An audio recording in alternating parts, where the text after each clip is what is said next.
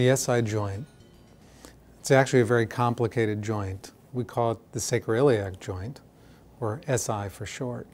And the SI joint is actually a large joint where the spine attaches to the pelvis in the lower part of the back.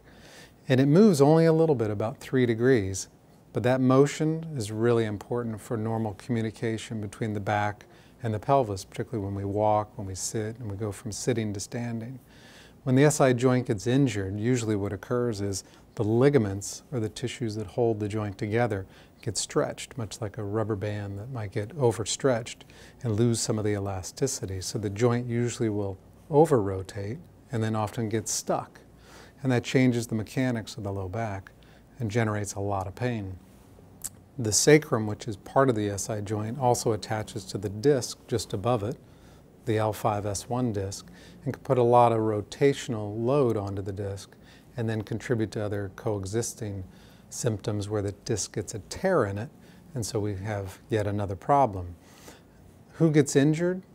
Usually it's someone who has a slip and fall and the SI joint gets torqued, much like if you sprained your ankle and had a sprained ankle that was then loose and lax, the SI joint can become loose and laxed. You'll also see it after pregnancy when a woman has a baby and the pelvis actually comes apart a little bit to allow the baby to come out and it just never quite goes back right.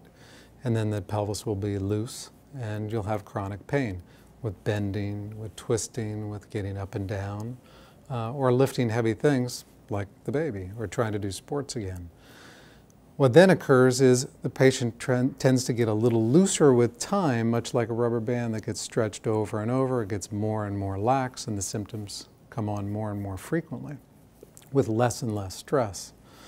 So what do we do about it? The first and foremost is to determine where is the pain coming from? Is it actually the SI joint?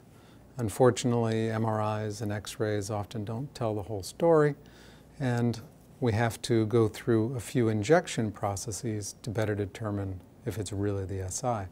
We'll block the joint itself and put anesthetic in it, or we'll block the small nerves that go to the joint and then better determine is this really the source.